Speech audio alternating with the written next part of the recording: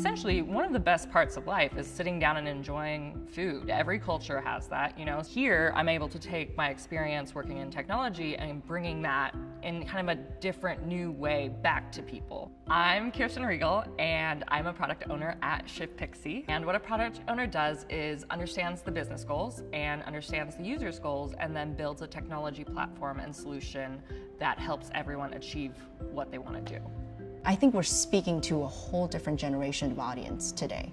I don't look at newspapers anymore. I don't shuffle through coupons anymore. All those old ways, old fashioned ways of how a restaurant would speak to their customers is out the window. Every time I need to make a consumer decision, I, I go to my mobile device. So, what we're building right now is a food ordering app for the Nacho Nukes brand.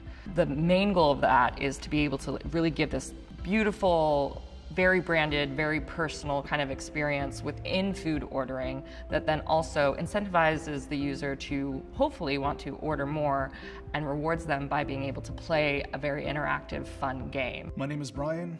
My goal is to humanize technology. So we didn't we didn't just want it to be a food ordering app separated from a game component. We actually wanted to merge both of them and give the user a seamless experience throughout the whole app.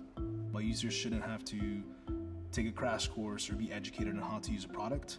It should be intuitive. The user doesn't notice whether they're inside the ordering app ordering food or they're in the game component actually playing the game. One of the cooler features of the app is the game at the end of it. You place an order and then you get to play the game. But the exciting piece is it's not just a game that has no purpose. What we're really allowing people to do is the more that you play the game, the more points that you earn, and then on your following order, you'd be able to use these points that you've earned through the game in order to apply a discount on your order. So the more you engage with the brand, the more rewards you get. So our process begins with Ria. She's our graphic designer and user interface designer. She creates uh, these amazing and fun characters, uh, color palettes, assets, images, and so on. In the meantime, Amy, Kirsten, and I, we sit down and we talk about the MVPs of the product, meaning what are the necessities that this product will need in order to be successful at launch. Marlon, our 3D artist, he brings the characters that Ria has created into life by using 3D effects, motion, and lighting.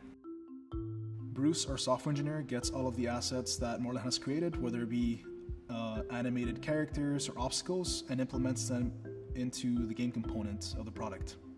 So I think in order for a restaurant brand to make sure that they have a on-brand digital experience for their customers, they need to make sure that their ordering process or the ordering experience that the customers um, have on the mobile device, all the way to the delivery staff that actually delivers their product to their customers, is carrying through their brand voice throughout the whole customer lifecycle. And the exciting thing too is I don't think anyone else is really approaching how do you interact with customers from a food level in this exact way. Our goal is to create a product that the user will have fun with, but most importantly, be rewarded while they're having fun with it.